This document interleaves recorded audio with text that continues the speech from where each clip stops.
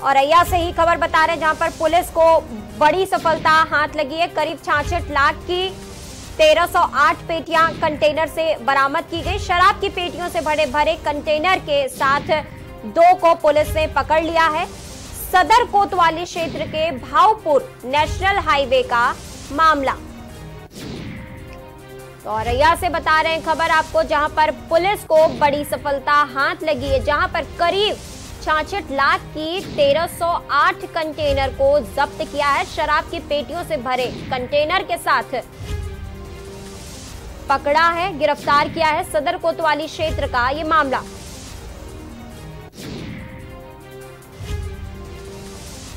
तो छाछठ लाख 1308 पेटियाँ कंटेनर बरामद की गई हैं। शराब की पेटियों से भरे कंटेनर के साथ दो को पुलिस ने अपनी गिरफ्त में ले लिया है।